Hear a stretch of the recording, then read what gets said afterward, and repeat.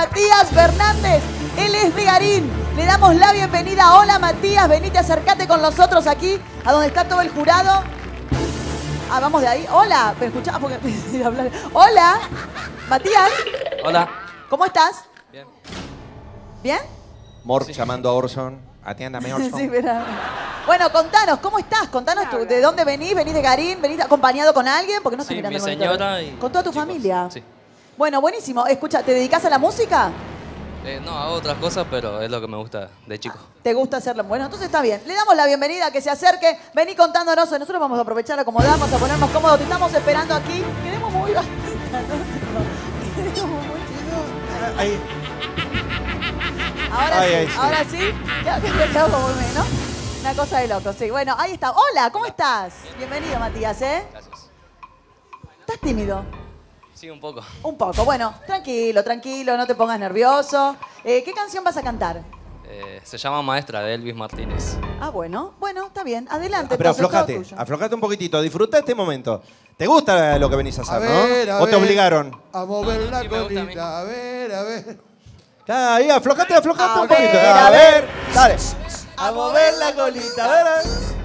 Aflojá, aflojá los brazos, respirando y disfruta el momento. Dale, te escuchamos.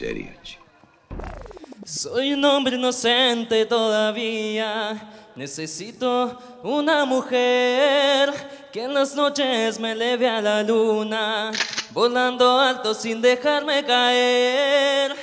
Esa mujer tienes que ser tú, me lo dice el corazón, que tú eres la mujer, no te vayas a resistir. Ven y enséñame a hacer el amor. ¿Cómo será la primera vez que se siente entrar al cuerpo de una mujer por primera vez? Maestra, enséñeme usted, oh, desnúdese, que yo la quiero ver por primera vez.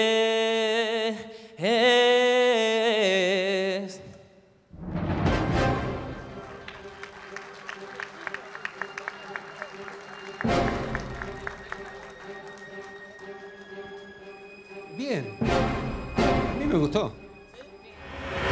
Eso le pusiste azul, ¿no? Claro. ¿Tenés algo para decirle? Y habría que oírlo con música de fondo porque así a capela sonaba bastante bien. A mí me gustó también. A mí me gustó. Por eso te, te puse azul. Igual tenés cuidado con la, con la S o la Z, porque decías, eh, por última vez. Y ahí quedaba. Tienes que por última vez.